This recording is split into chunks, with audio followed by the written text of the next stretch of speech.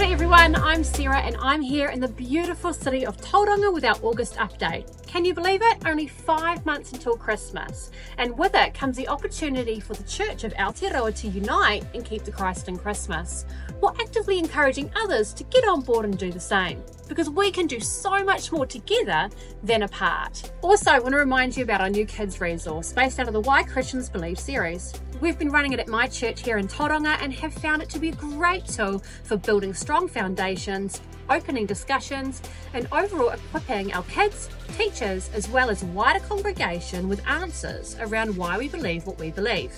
We are now up to our fourth in our series of topical updates about outreach. So far, we've covered outreach in church small groups, outreach in New Zealand history, outreach and reasons for belief, and this month we are looking at outreach and unity.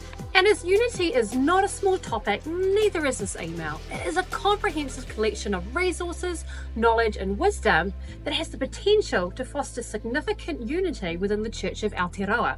So I encourage you, take your time section by section and digest it thoroughly. In this update, we take a look at how church unity is highly significant to outreach.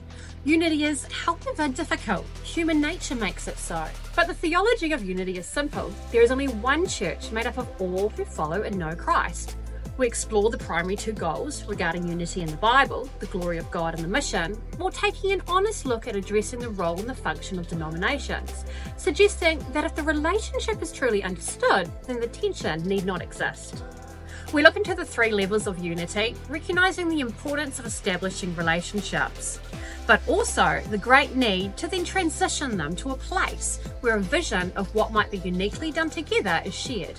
Because the overarching goals of unity is building on relationship to then uniting in vision to achieve a practical outworking. And what does this practical outworking look like? Well, there's a wealth of examples, stories, and resources in this month's update to inspire your focus on unity, transforming it from a concept into a tangible action.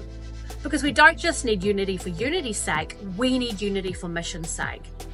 And that's why it's so important for outreach. To identify and do things together, we cannot do apart. Have another great month and check out all our resources at alltogether.co.nz, and we'll see you again next month.